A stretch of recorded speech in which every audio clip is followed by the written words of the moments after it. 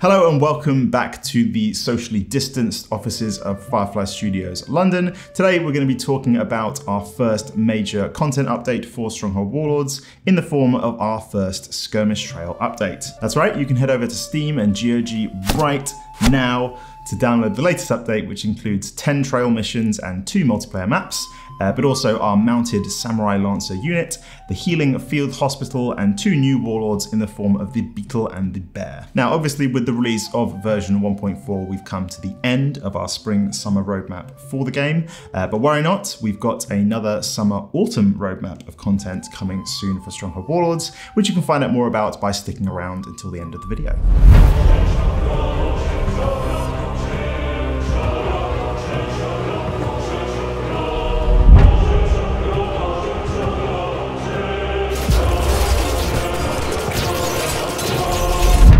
Our first of several planned skirmish trails, today's update adds 10 missions and two difficulty settings with which to tweak the challenge on offer. Set across a mix of old and new maps, Warlord's initial skirmish trail is designed to be built on in future updates, with the classic Crusader feature of the chicken making you feel right at home.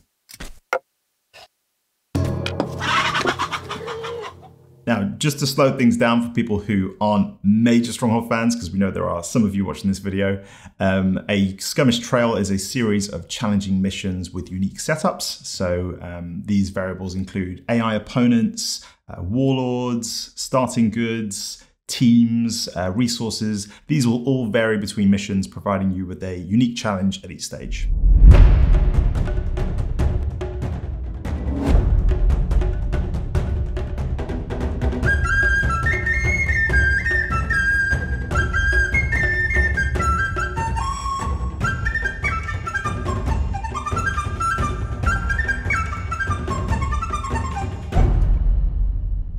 And now for something completely different in the form of the Samurai Lancer. Uh, that's right, Warlords is the first game in the Stronghold series to have post-release support in the form of units, providing new options for skirmishes out in the battlefield or castle sieges. Use the Samurai Lancer to buff any nearby mounted units, or in the heat of battle, charge down enemies with a fast movement speed comparable to the auxiliary cavalry and a respectable damage output on par with her Imperial brethren. Last but not least, you can use these Samurai lances to chase down and destroy those fucking horse archers who've been harassing your peaceful rice farmers for the last 10 minutes. Seriously, leave the peasants to their paddies, okay? Leave them to their paddies. Half rice rations? We'll starve. Now, before we continue, I have some devastating news. news is I didn't write this part of the script. over 80% of the people who watch videos on our channel are actually not subscribed. So if you want to stay up to date with the latest Stronghold news, past, present, present, present, present, present and future, uh, please subscribe to the channel and um, hit that notification bell if you aren't already subscribed.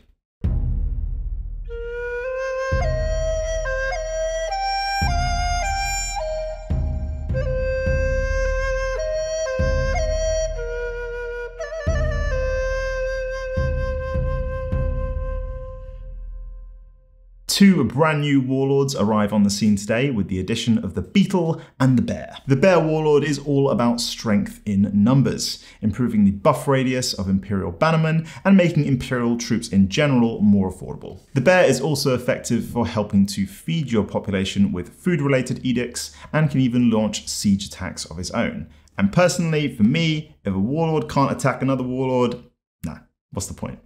Get out of here. Now, unfortunately, the hibernation edict, which sent all enemy buildings to sleep, was a little too overpowered, so we had to cut that one.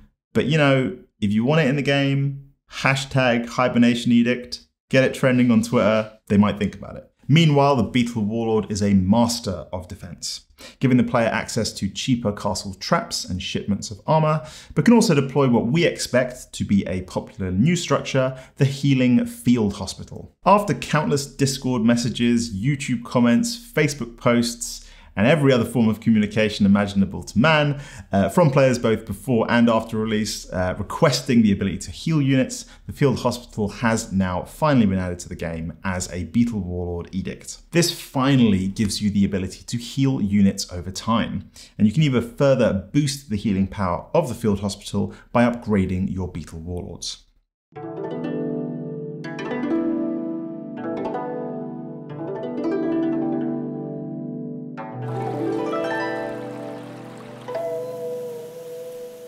Now, continuing the theme of player feedback, we have two new maps for you today in the form of Ascendants and Guarded Crossings. With generous build areas and Ascendants being a large map, today's update brings the total number of available maps to 16. Uh, this is in addition to our free build maps and, of course, uh, many more maps coming in future updates. So let's see if you can ascend to victory and say, It's no use, Anakin.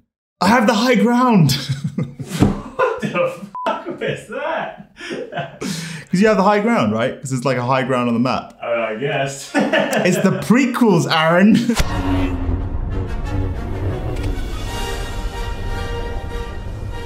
It's over, Anakin!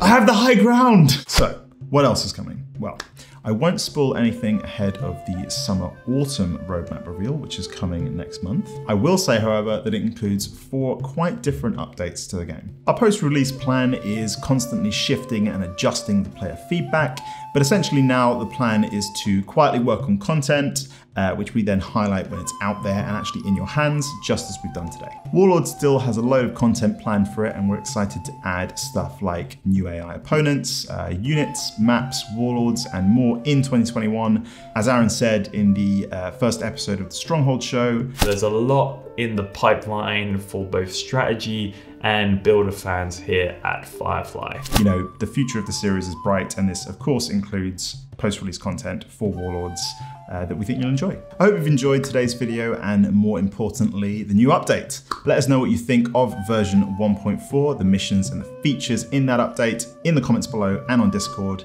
And as always, subscribe. And if you have subscribed, hit that notification bell for the latest Stronghold news in the future.